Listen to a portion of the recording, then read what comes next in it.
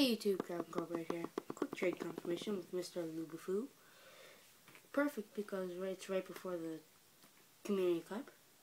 He sent it the trade in a really epic uh, sleeve.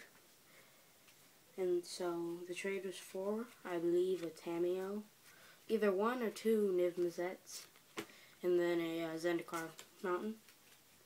Going to be using those most likely in my uh, deck.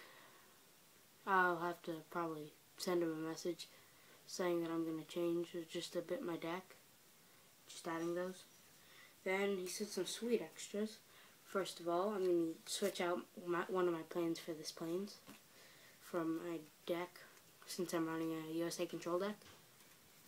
Uh, then he sent a Palisade Giant and I'm thinking about starting a cube, but it might be over the span of a year, just to collect the best of the best. Eh, but if I do, that'll be definitely be in it. Uh, Victory's Herald and Archangel's Light. Alright, so, yeah.